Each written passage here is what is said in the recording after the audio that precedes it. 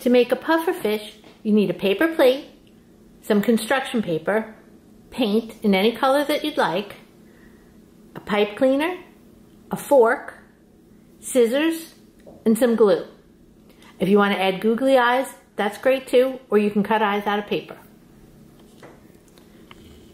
The first thing you're going to do is start painting your puffer fish. You're going to take your paper plate, turn it upside down, and then you're going to use your fork as a paintbrush. Put some of the paint, whatever color you want, in a bowl or on a paper plate, somewhere where it won't make a mess. And you're just going to dip your fork, and then you're going to tap the fork to the plate.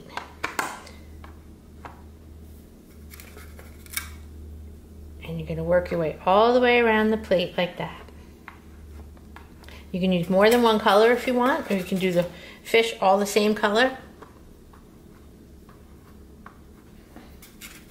You could start in the middle and work outwards. I found starting at the outside and working into the middle worked better.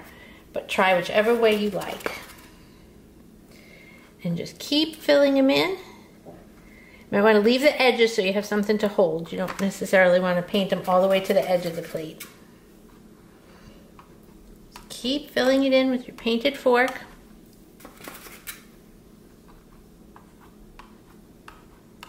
Keep going until it's filled in as much as you'd like.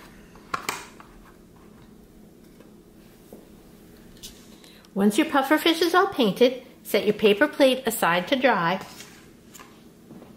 and take your piece of construction paper. Fold a piece in half so that you have two layers and then you're just gonna cut any shape that you want your fins to be. You can make them circles, you can make them heart shape. I kind of like a triangle shape. Whatever you want would work fine. You just want two that are the same size.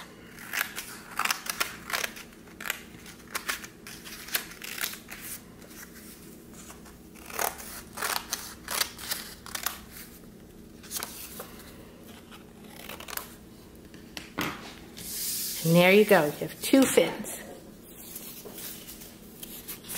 You can set your fins aside. You're gonna wait until your plate's all dry to glue them and take your half a pipe cleaner and we're going to make the pufferfish's mouth with a half a pipe cleaner. And you're just going to wrap it around your finger, just like so, and just wrap it into a circle. Tuck your ends in. And there you have a circle mouth.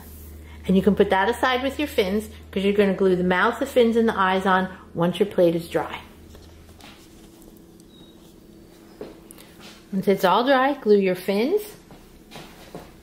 Then you're going to glue on your eyes and your mouth.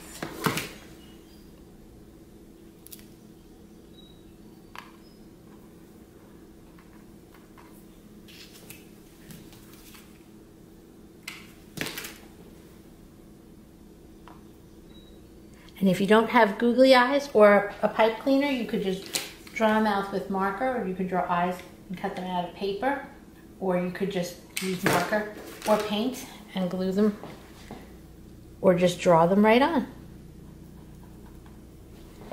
And once your glue is all dry, there you have a pufferfish.